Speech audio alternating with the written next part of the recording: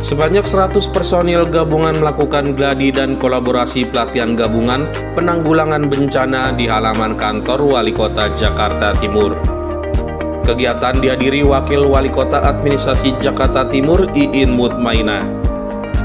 Petugas gabungan yang hadir terdiri dari Badan Penanggulangan Bencana Daerah BPBD DKI Jakarta, Badan Penanggulangan Bencana Daerah Kota Administrasi Jakarta Timur, Satpol PP Jakarta Timur, PMI, Brimopolda, United Traktor, Pramuka Jakarta Timur, Pamdal Kantor Wali Kota Jakarta Timur. Kegiatan ini adalah merupakan kegiatan simulasi penanggulangan bencana banjir ketika ketinggian air memang tinggi ataupun bencana kebakaran.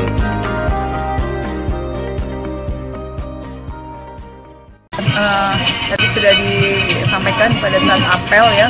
Ini adalah kegiatan simulasi penanganan bencana dimungkinkan kejadian banjir uh, sampai melampaui dari ketinggian kantor wali kota 8 lantai akan dilakukan kegiatan pelatihan uh, vertical rescue dan water rescue dan juga tadi akan ditambahkan juga untuk pengamanan ataupun penyelamatan di kondisi pemukiman yang sangat padat menggunakan uh, tali-tali. Nah ini memang butuh uh, keahlian ya, butuh butuh kemampuan yang memang harus terus dilakukan uh, ataupun simulasi sehingga memperkuat memastikan bahwa semua teman-teman uh, yang ada di jajaran petugas ini siap.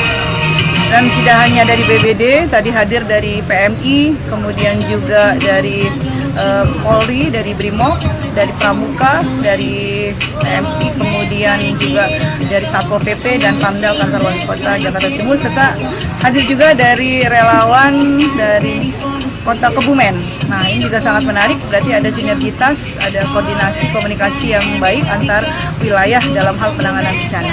Pesannya um, manfaatkan waktu dengan baik sebaik mungkin karena memang pelatihan ini sangat menentukan keberhasilan dalam hal nanti ketika terjadi tindakan. Ketika orang terbiasa uh, melatih, kemudian menguatkan kembali ilmu-ilmu ataupun pengetahuan yang sudah dimiliki, tentu sangat uh, bagus sekali. Jangan hanya sekali saja, tapi saya ingin BBD terus melakukannya secara rutin untuk mengukur kesiapan dari teman Timur. Yang pertama kami terima kasih kepada jajaran Wali Kota Jakarta Timur khususnya terkait dengan fasilitas gedung yang akan kami gunakan sebagai pelatihan simulasi teknik pertolongan pada ketinggian.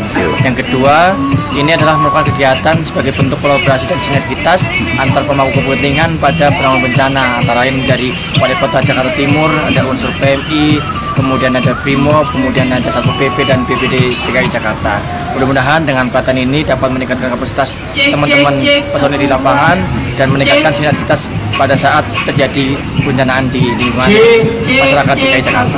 Kurang lebih kami hari ini ada 100 orang personil hari ini untuk sama-sama melakukan uh, teknik pertolongan pada ketinggian. Kegiatan ini mungkin pertama untuk vertical rescue untuk di jajaran Jakarta Timur dan ini akan kita aplikasikan ke seluruh jajaran di tingkat provinsi DKI Jakarta.